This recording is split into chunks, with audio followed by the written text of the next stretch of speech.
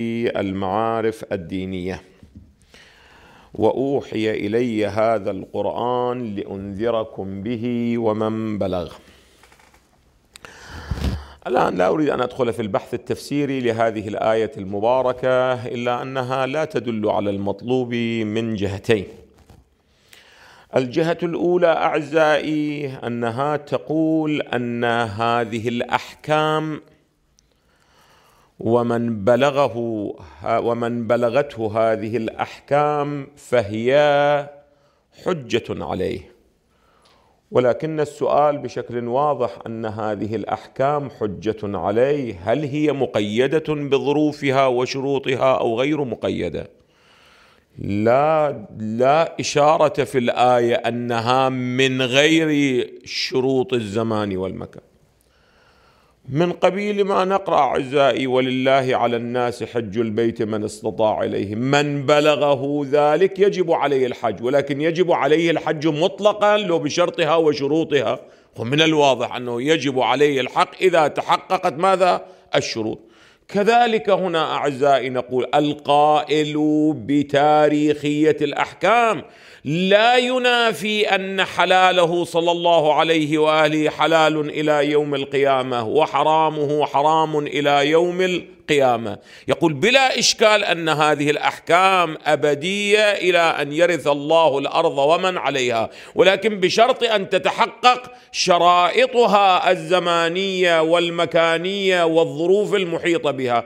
أما إذا انتفت تلك الشرائط فإن المشروط عدم عند عدم ماذا؟ عند عدم شرطه. هؤلاء يتصورون نحن نريد أن نقول أن الأحكام مرتبطة بزمان معين. لا أعزائي لا يقول أحد بذلك. يقولون أن الأحكام مرتبطة بموضوعاتها وهذه الموضوعات إذا توفرت ظروفها الزمانية والمكانية فالحكم جاري. إذا لم ت... إذا تغيرت فله حكم ماذا؟ فله حكم آخر. لو كنا نحن بصدد نسخ الأحكام الشرعية كان يقال لنا لا أن الأحكام أن الإسلام وأن الشريعة الإسلامية تنسخ أو لا تنسخ. لا تنسخ أبدا. ليست كالشرائع السابقة التي انتهى أمد تشرعيتها ونسخت بشريعة الإسلام. الإسلام ينسخ أو لا ينسخ؟ الجواب لا ينسخ. الشريعة الإسلامية تنسخ أو لا تنسخ؟ الجواب لا تنسخ. ولكن الكلام كل حكم شرعي مرتبط بظروفه أو غير مرتبط. فإذا كان مرتبطا بظروفه فإذا وجدت الظروف وجد الحكم. لم توجد الظروف لا يوجد الحكم. مع أنه حلاله حلال إلى يوم القيامة وحرامه حرام إلى يوم القيامة.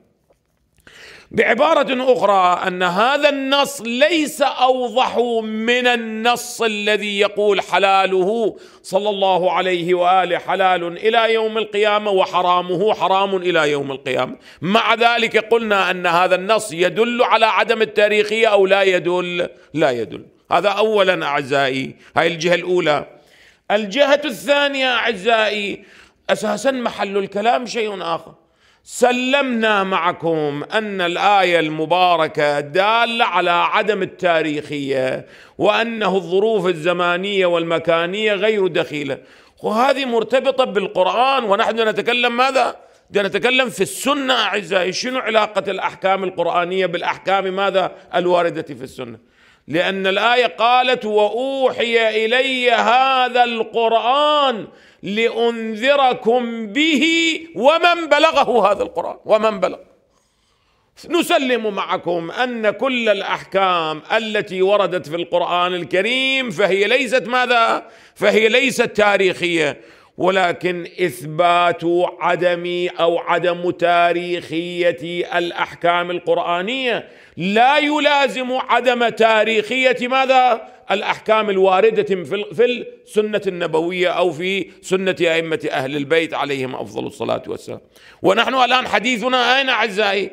حديثنا ليس في الأحكام التي وردت في القرآن وإنما الأحكام التي وردت أين؟ في السنة يعني التي صدرت من النبي يعني السنة بمعناه الأصولي الذي نقرأه في علم الأصول الآن فعلا. قول النبي فعل النبي تقرير النبي من غير أن يرد أين؟ في القرآن الكريم. هل هي تاريخية أو ليست تاريخية؟ هذه موضوعها شيء وبحثنا موضوع قاعدة الاشتراك شيء آخر.